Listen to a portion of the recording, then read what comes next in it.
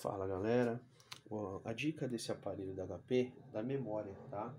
Esse é o 140, é 14R050BR. Então ele vem já com 4 GB DDR3. Tá?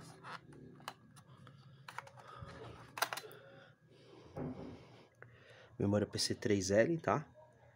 Smart, ó, você pode colocar, como só tem um slot, um pente de 8. Por exemplo, esse aqui é um Kingston, também PC3L, tá? Você pode colocar um pente único de 8. Agora, galera, uh, SSD nessa máquina é o seguinte. Ele já tá com SSD, mas dá um trabalho para desmontar ele. Como não tem um tripé, não deu para fazer o vídeo. Mas tem que tirar a tampa, tirar o teclado, tá? É bem complicado, é capaz de você encontrar vídeo no YouTube aí. Tem um, eu vi um vídeo aí ensinando a desmontar ele todo, tá? Mas fica muito bom com SSD.